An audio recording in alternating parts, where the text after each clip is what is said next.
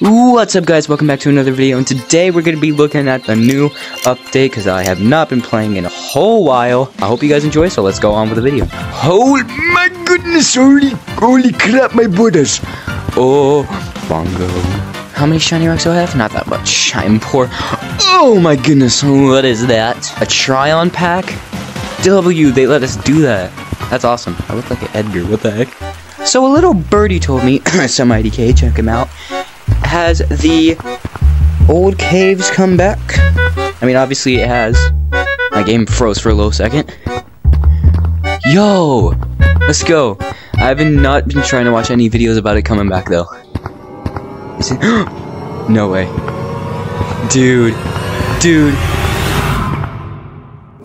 Oh my god.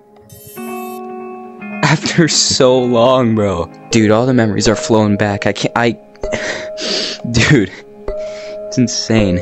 I mean, not really, but. Wow. Caves is just as scary as I remembered. Also heard they added a ghost or something. Okay, I'm getting out of the caves. I cannot. Ha!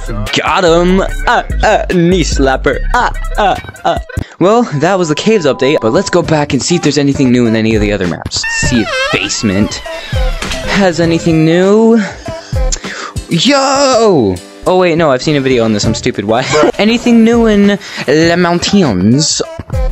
No, I do not think clouds and forests and everything else get a revamp, so uh, yeah. Well guys, that's gonna be the end of the video. I hope you enjoyed. I'm obviously gonna be making more videos and shorts because of recent backlash of not posting for a month.